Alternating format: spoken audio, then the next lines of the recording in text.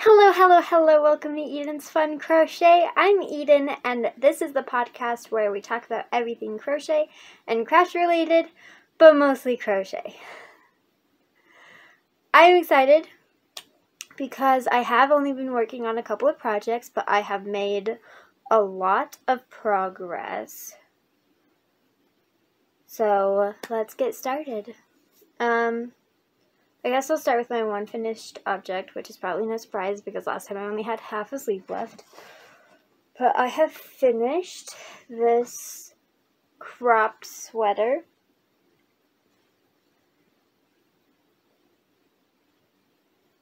Sorry, I'm trying to make sure you can see all of it. Um, it's just red heart acrylic yarn. Um, no pattern. But because I, I mean, I talked about it more last time, but um, yeah, I just had the one sleeve left, and so I finished it. Um, I think this is going to be one that I'm going to sell, though. Um, I have put up a few items that um, that I talked about on the podcast before, but I have a few items up on my Etsy shop, so I'll put that link in the description box below so that you can go check out my Etsy. I do have two separate Etsys. I have one where I sell crochet things, and then I have one where I sell yarn that I dye. Um, I don't really talk a lot about my yarn on the podcast because this is more of my like crochet corner. Um, but I do have. I'll link both of those Etsy's in the description box so that you can support me if you want to. You don't have to, but it's there if you want to. Um, I did end up doing some frogging. Um, if so, I'm going to be talking a lot about the last episode. So if you haven't seen that one, go watch that one first, and then watch this one. So I did frog the pillowcase, like I took it all apart. Um, and then I frogged the flower mandala square thing. Um, I haven't frogged the shorts yet, but I think I am going to frog the shorts because I really want to make a dress out of it for my baby, and there's not enough for both. So I think I'm going to do that. Um, I guess I could always just dye more. But that's dyed on cotton, and I don't have cotton, so I have to go buy cotton. But, I don't know. That's still deciding whether or not it's going to be frogged or not. Okay, so WIPs. I've never actually showed this on the podcast because last time it was just I forgot to bring it in. And then the time before that, I don't think it was even started. It was still just an idea. I have talked about it a while ago. I don't even remember what episode it was. It was probably like a year ago. I bought the yarn for it, and I think I talked about it then. But um, the yarn has just been sitting in here forever because I wanted to make a tutorial, and so I never um,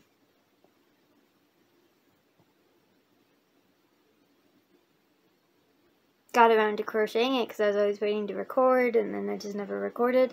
So this is what I have so far. It's super colorful. I'm sorry the lighting is like turned orange. And so it makes the whole thing look kind of orange. But I have like pinks and blues and orange and yellows. And um, it's super colorful. I kind of have like um, each repeat. So as you can see, it goes like yellow, orange, pink, orange, yellow. And then it starts the new like color section with the next repeat. So it's like green, pink, orange, pink, green, and then that pattern, that color pattern is over, and then it starts the next. Um, and so that will have a tutorial. Obviously, I'm not very far, so it'll be a while before the tutorial. I'm trying to make it a king size blanket to fit our bed. I got the color ideas and kind of like what I'm going for is based off of my childhood blanket that doesn't fit on our king size bed. And so I kind of wanted something that was like homey for me, but like could actually fit our bed. So that's what this is. It's going to be a huge blanket, and I am going to do tassel ends, so I have all my ends hanging out on the side. Um, so that they can become part of the tassels, which I really appreciate because I have so many color. Like I think that's why I decided to do the tassels is because I'm changing colors so often, like every row, and so there's just so many ends to deal with, and so I'm just making them into tassels so I don't really have to deal with them. Um, luckily, it goes with the aesthetic of the blanket that I'm going for. Um, if it was like, because it's supposed to be kind of like happy and kind of childish in a way, and so if you were going for something more classy, maybe I wouldn't do that, but like put tassels on it. But for this project, it's working out really well, so that's what I have so far. Oh, yeah, I was going to tell you the progress I made since last podcast. I haven't done a lot. It's only been like maybe like this much or this much. I got a lot done when I was videoing and then I've just kind of tapered off. So I've only done a few rows, but this one um, is just kind of like my around the house one, not my, because I have a movie project, and then I have a car project, and usually I have a Sunday project, which hasn't really been a thing right now. Um, I'll talk about that in a second. And then I have this one that just kind of hangs out. So that's why this one doesn't have a lot of progress on it right now. But let me show you one that does have a lot of progress. So I shared this last time. I have this. It didn't even, the funny part is, it didn't even start out as a blanket. It started out as a kimono that I was going to do like the back panel and then the two front panels and like it has the vertical stripes instead of the horizontal stripes. So it's supposed to be like this way. But then it was too big and the person I was making it for and anyway. It was a perfect storm, never ended up happening, but I liked it and I liked the color pattern, like the colors that I chose. So I kept working on it and I was like, I'll just turn it into a blanket. And then when I found out I was pregnant, I was like, if it's a girl, I'll just work on this blanket, and if it's a boy, then I'll have to start a new one. But this would be perfect for a girl, especially since I've always wanted like my girl colors to be purple and yellow, not pink. and so we're gonna paint the room yellow, and then like all of the other stuff is gonna be purple, which I'm really excited for. Little stressed that the room still doesn't really have walls on it, but hopefully that will get done soon because I'm five and a half months pregnant. So the baby could literally come at any time. I mean, it's very unlikely that she'll come this early, but it's possible. And that's what I'm worried about, is that we don't even have a car seat yet. Anyway, enough about my worldly problems. Let's talk about this project. So I pulled it out, and I got out a hook, because I didn't have a hook with it and I didn't have it written down what hook size I had with it. And so I pulled out my hooks and I tried figuring out and I think it was my yarn that was the issue, but it kept like waving like it was this yarn and you can see maybe you can see how it kind of like has a wave to it like it looks like it's using the wrong hook size. And I think the problem was my yarn, not my hook. But then I tried going down a size and I tried using other yarn, but then that yarn was a lot smaller instead of a lot bigger and I was just having issues with it and I was like, I don't know, I don't want to like get super far with like I don't want to be like I'm just going to choose one and then get a certain way and realize that it's ugly and I didn't want to like ruin it. And I have like a pretty decent amount done like so far since I have picked like this was before I picked it up and so I decided what I was going to do was that I was going to just choose a hook size, but instead of continuing with these stitches, I was going to make, so if this was horizontal, if these stripes are horizontal, I was going to make vertical stripes and just make it the length of this so I go off measurements instead of stitches. And then, so half the blanket is um, horizontal and then the other half is vertical. So I've been working on the other half, I guess the vertical in this scenario. Um, so last podcast I was I didn't show it. I mean I showed the this one but not the new one and I had just this purple section done. Like this was all I had when I recorded last. so I had this section and I have done all of this since then. So, I mean, it's not as long as this one is, but like, maybe I'll lay it out and take a picture and insert the picture. Um, that's kind of what I'm thinking. I'm about halfway, a little more than halfway, um, what I need to do. So that is what I have so far. Um, so this has been the project I've been working on the most. It's my car project, which is kind of funny that it's been worked on this much. Um, because Tyler and I, we drive back, it's like a 15 minute drive from school. And we both work at the school. So anytime we go to work, we drive just like 15 minutes. And um, he does a lot of performances and stuff, so we'll drive there too. And so we'll drive back and forth maybe three or four times a day. Um, but also, because he does a lot of performances, and if I'm not doing anything or if I get done with work before he does, I'll go hang out with him. And because his project's just sitting in the car, I'll take it into the concert hall with me and I'll just crochet it, crochet on it while I'm either waiting for him to be done with work or while he's performing because he works in the concert hall. And so he, like, he'll perform and I'll just crochet, or like, he'll be doing tech stuff and I'll just be crocheting sitting next to him. So that's why this one has gotten so much love, is because it lives in the car. And so it's also my, like, sitting in an audience project, you know, like when I don't when I go somewhere and I need to wait or you know like sit in line or whatever like that's that project so that is why it has gotten the most love I'll fold that later um, and then my movie project it doesn't like if you look at the rows it doesn't look like I've gotten a lot done but the rows take forever and um, right now. So this is one one skein is 153 yards. So it's 85 grams. Gives me about three rows. So let me show you.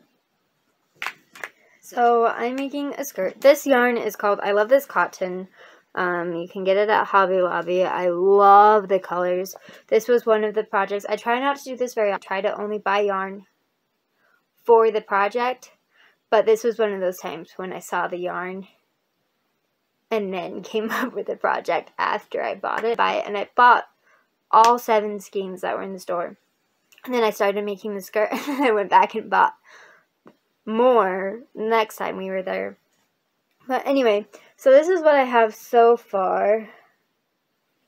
Um, I've only, let's see, where is my progress keeper?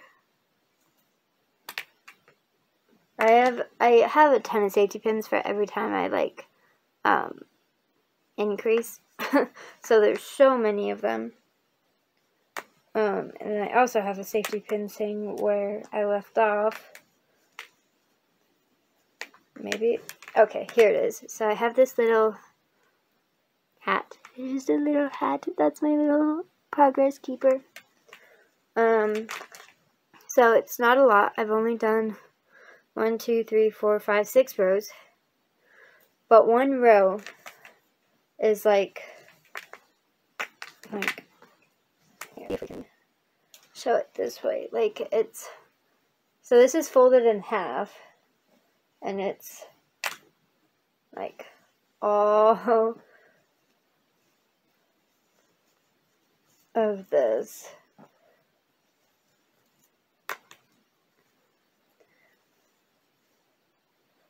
So I've just been working on like the double crochet, um, none of the fancy pattern or anything. It's just been double crochet. Um, it doesn't have a pattern. Um, I've just been doing things. I decided that I don't want to continue the skirt until I'm done with the top so that I can gauge like how long I want to make it and like what, how it's going to fit on my body better because it's going to be a dress. This is just the skirt part of the dress. So I want to make the top and then I'll finish the bottom. But I don't want to work on the top until I'm not pregnant anymore because I want it to be like a nice fitting top. And I am five months pregnant, so it would not fit me very well when I finish. so this project, even though it has gotten a lot of love, is going to be put on the back burner for a few months um, just so that it will fit me when I'm done with it because I love it so much and it's become like it's just such a wonderful project and I love the colors and I love the way it looks and I want it to be something that I'll actually wear um, and so it's gonna be put to the side for now so I'll probably just be working on the two projects until school is over and then I'll get more into the pile and figure out um, what I'm going to do with all of them. Um, I have, it was so funny, for the, my finished object for the heart sweater, I had half a sleeve left and I was going to take it to church with me and finish it at church. And I did take it with me, but the only problem was I forgot that I ran out of the black yarn. That's why I had stopped the sleeve. And I didn't pick up any more, so I didn't have any black yarn. And so it just kind of sat there for a while, so I don't even remember what I had taken to church with me. If it was like scrunchies or something. Um, so that hadn't been, that was actually really recent finished project. Even though it's been several weeks and I only had half a sleeve left, I finally finished it. Um, I don't have any other works in progress right now. I don't have like a lot of big like I don't have a lot of most of the pile are smaller projects or big blankets.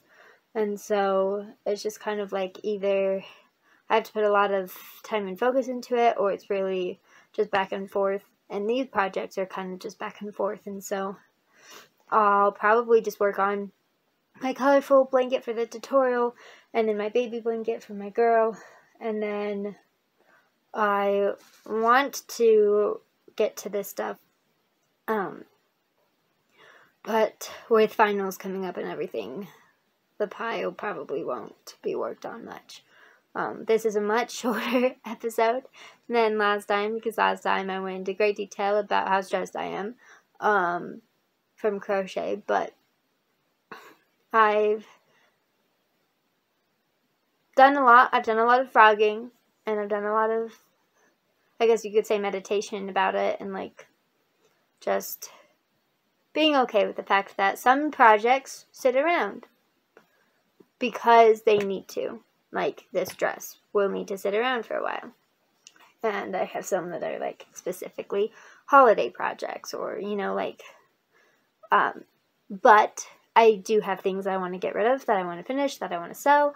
Um, I will be adding more things. I'm going to do a photo shoot, I guess, sometime in the next week and get more um, things up on my Etsy. This will be one of them. Um, I will put up, I only have three things right now, and I have three or four more things that I want to add. Um, but I don't have pictures for because the ones that I have put up were ones that I took pictures for when I finished the object, um, just for my Etsy, not my Etsy, my Instagram and random things. So I have those up on my Etsy with pictures, but some of them I don't have pictures for, so I need to take pictures. But between like I need a photographer. My husband is my photographer most of the time. Um, but he's super crazy busy right now because he has a bunch of concerts going on. And then he has to work all the concerts for all the concerts he's not in. And so he's always crazy busy. And so between the two of our schedule, we haven't gotten to take photos yet, but we will get to it hopefully before the next podcast is uploaded. Um, but I'm just really excited about how much progress I made on that baby blanket because it is a lot. Um, and I guess I will see you guys next time. Bye.